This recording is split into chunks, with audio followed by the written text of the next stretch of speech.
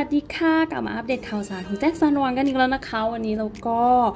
มาค่ะพ่อมาอัปเดตใน IG Story แล้วก็ Twitter นะว่ากำลังไปอเมริกาใช่ไหมคะก็มีแฟนๆ บางส่วนค่ะ ไปรอที่สนามบินอินชอนนะ ก็อยู่ดีๆ ค่ะแฟนคลับทำเซอร์ไพรส์นะคะ โดยการร้องเพลง Happy Birthday เป็นภาษาเกาหลีนะ ก็มีคนตกใจแล้วหนึ่งนะคะ ก็น่าเอิบไปนิดหนึ่งนะ ก็ไม่คิดว่า แฟนคลับจะร้องเพลง Happy Birthday ให้ใช่ไหมก็หลังจากที่รับกระเป๋าค่ะ ก็ระหว่างยืนรอข้ามถนนนะคะ ก็ยอมจำนนแต่โดยดีนะคะ ในการฟังเพลง Happy Birthday ที่แฟนคลับร้องให้ฟังนะ ก็คือท่าทางก็น่าเอ็นดูไม่ไหวนะคะ วันนี้ก็ใส่ฮูดใส่บินนี่ แล้วก็ใส่รองเท้าแตะสีส้มนะน่ารักมาก ก็ตามคาดเลยค่ะ ตามที่แอดคาดไว้นะคะ จากที่เมื่อวันก่อนแจ็คสันหวังไปทำสีผมมาใช่ไหมก็ด้วยความแสบของพ่อค่ะ อย่างที่เห็นเลยค่ะ ใส่ฮูดไม่พอใส่บินนี่ทับ แล้วก็ใส่แมสด้วยนะ นี่ดีนะไม่รูดฮูดขึ้นไปด้วยนะ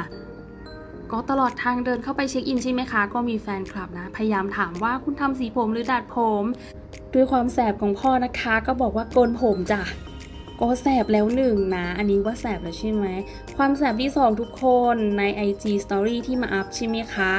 ก็พ่อก็ทำเป็นขยับฮูดขยับหมวกค่ะ แล้วก็สลับกล้องไปที่กล้องหลังนะ แล้วก็ถ่ายให้เห็นในจอนะคะ ก็ฝั่งตรงข้ามมันจะเป็นจอสำหรับดูหนังฟังเพลงใช่ไหม ความแสบของพ่อก็คือว่าจอ LED มันก็ขมุกขมัวใช่ไหมคะ มันมองเห็นไม่ชัด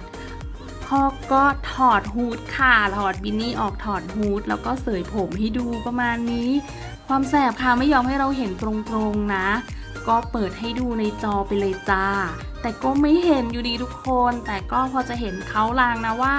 ยังคงเป็นสองสีเหมือนเดิมก็คือฝั่งหนึ่งเนี่ยเป็นสีสว่าง เพราะว่าเห็นไฟจากเครื่องบินต้องลงมาใช่ไหมคะ ก็จะเป็นสีสว่างนิดนึง แต่อีกฝั่งหนึ่งก็ยังคงเป็นสีทึบอยู่ ก็ไม่รู้ว่า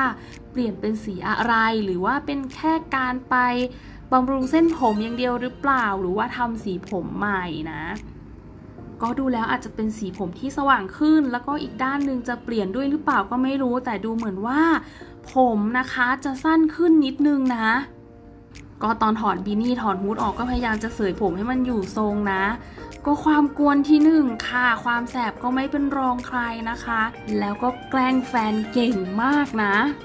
ก็มารอลุ้นกันค่ะว่าตอนแลนดิ้งลงที่ LA เนี่ยพ่อจะ ยอมเปิดฮูดให้เราได้เห็นสีผมหรือเปล่า แล้วก็นะคะใน Twitter ใช่ไหมคะที่พ่อมาอัพไว้ก็คือ ได้ให้แคปชั่นไว้ว่าซ้อมนอนนะคะ ซ้อมนอน ซ้อมนอนคืออะไรก่อนทำไมแอดไม่เห็นต้องซ้อมเลย นอนได้ตลอดเวลาวิเป็นความสามารถเฉพาะตัวนะทุกคน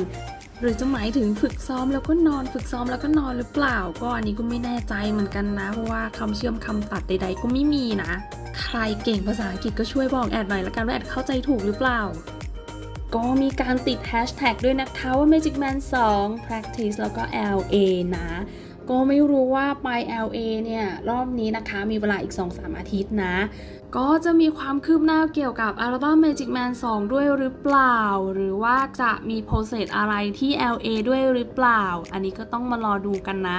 แต่ก็เห็นพ่อตอบในเว่ยปอค่ะว่ามีคนถามเกี่ยวกับอัลบั้ม Magic Man 2 ก็เห็นตอบแฟนๆไปว่าน่าจะเริ่มประมาณปีหน้านะคะ ก็มารอดูกันค่ะว่า ครึ่งปีหลังใช่ไหมคะ หลังจากที่จบ World Tour แล้วเนี่ย จะมีโปรเจกต์อะไรอีกหรือเปล่า จะเป็นงาน collabรัวๆไหมหรือว่าจะมีงานแสดงเหมือนที่อยากตั้งใจไว้เมื่อต้นปีหรือเปล่า อันนี้ก็ต้องมารอรุ้นกันนะ ก็ช่วงเวลาค่อนข้างที่จะว่างนานใช่ไหมคะ ก็มารอลุ้นกันค่ะ ไม่ว่าจะเป็นเรื่องสีผมใช่ไหมว่าจะได้เห็นตอนไหนตอนแลนดิ้งหรือเปล่า หรือว่าตอนไปงานโคเชล่า แล้วก็เกี่ยวกับอัลบั้ม Magic Man 2 นะคะ ว่าจะเริ่มเมื่อไหร่จะปีหน้าอย่างที่ตอบในเว้ยป่อไม้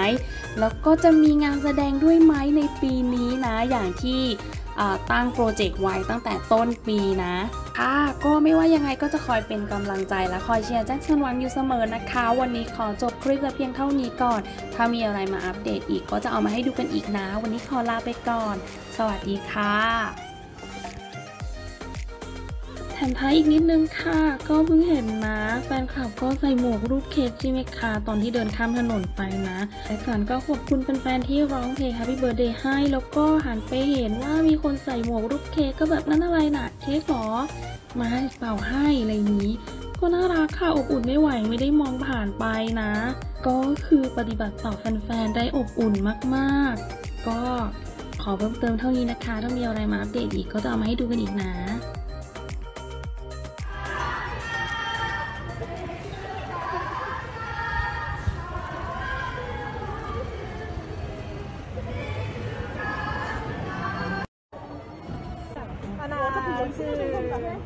생일 축하합니다.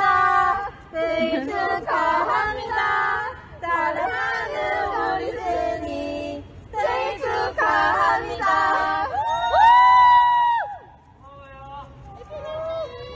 늙었어. 아니야, 아니야. 땡큐. 뭐야? 케이크야? 불어줘. 촛불 부를게. 이거 우리가 롤링페이퍼 썼어. 고마워. 가서 읽어줘. Happy birthday. Thank you, thank you. 现在昨天是染发还是烫发？这剃，你剃光了。